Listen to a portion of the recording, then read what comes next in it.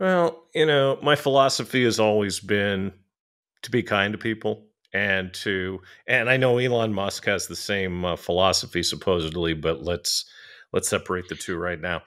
It's it's all about just everyone's the same. I don't care if you own a multi billion dollar company or if you're brand new out of college, new in an industry, whatever.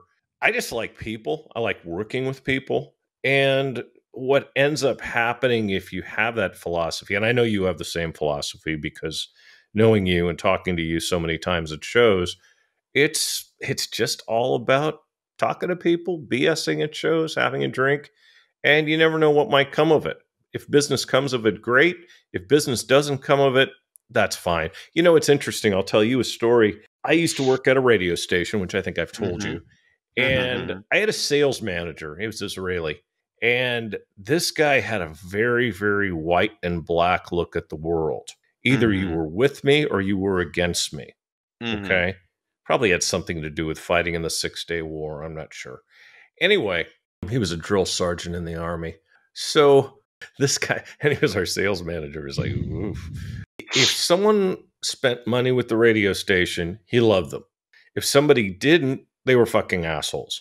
And I would be like, no, this is a really nice person. okay. They're my friend. Just because they haven't spent money with us doesn't make them a fucking asshole. It just means that they don't have a reason to spend money with us yet. And, and I just can't understand people that are that white and black about the world. Money is certainly not everything. Money's important because you need money to get by.